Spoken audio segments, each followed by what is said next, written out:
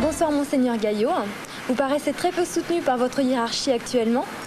Est-ce que vous pensez avoir suffisamment de force pour faire changer les choses au sein de l'Église? Bonsoir à tous. Des questions comme celle-là, on en a recueilli beaucoup. Des questions critiques aussi, on en entendra une tout à l'heure. Il s'est incontestablement passé quelque chose dans la société française après la révocation de Monseigneur euh, Gaillot de sa charge d'évêque d'Evreux. Et c'est pour réfléchir à ce qui s'est passé avec un peu de recul que je vous ai invité. Monseigneur Gaillot, bonsoir. Bonsoir.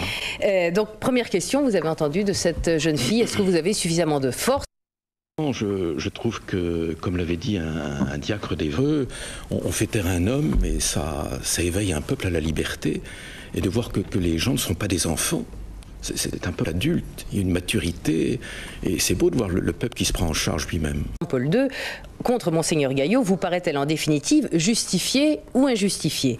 Justifiée 15%, injustifiée 73%, sans opinion 12%. C'est donc un plébiscite 73%, mais euh, vous avez un gros soutien euh, à gauche, mais aussi chez les catholiques pratiquants, euh, où on voit que 24% trouvent la sanction justifiée, 65% injustifiée et 11% sans opinion.